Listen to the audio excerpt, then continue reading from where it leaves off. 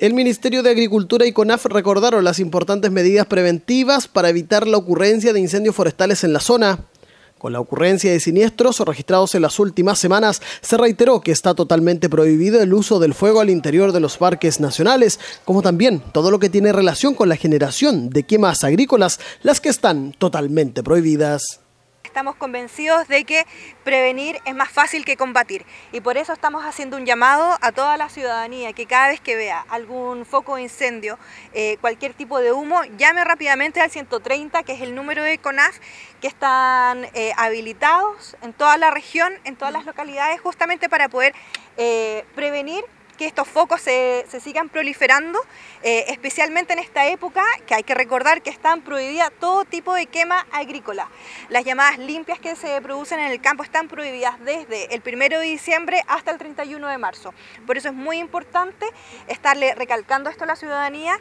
Eh, es deber de todos y de todas cuidar nuestro patrimonio natural, especialmente aquellas reservas naturales que, que tenemos en toda la región y por eso es importante recalcar que están prohibidas todo tipo de quemas agrícolas eh, en toda esta temporada hasta el 31 de diciembre y además también está prohibido hacer fogatas en eh, parques nacionales.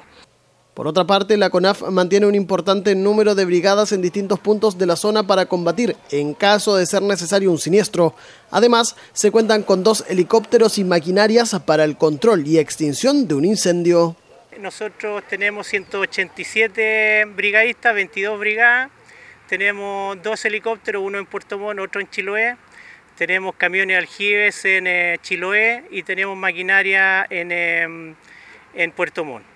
Eh, con respecto al área silvestre protegida, nosotros tenemos aproximadamente 60 guardaparques para las 12 unidades que tenemos y reforzamos el doble para enfrentar la temporada estival. Con respecto al tema del uso del fuego, nosotros tenemos restringido el uso del fuego desde el primero de diciembre hasta el 31 de marzo.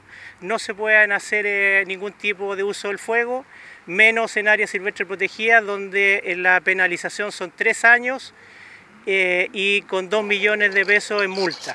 Por lo tanto, llamamos a la colaboración de la ciudadanía para que nos colabore de, usar el fuego en forma responsable, las colillas de cigarro no eh, tirarlas en zonas donde haya vegetación y el uso del fuego muy responsable en zonas sola, solamente donde se puede usar el, fuego.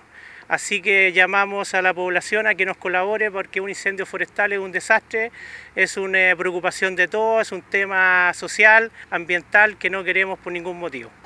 Las autoridades reiteraron que la idea de evitar la proliferación de incendios forestales pasa por la prevención y la denuncia oportuna, la que se podrá realizar a los niveles de emergencia 130 de CONAF, 132 de bomberos o el 133 de carabineros.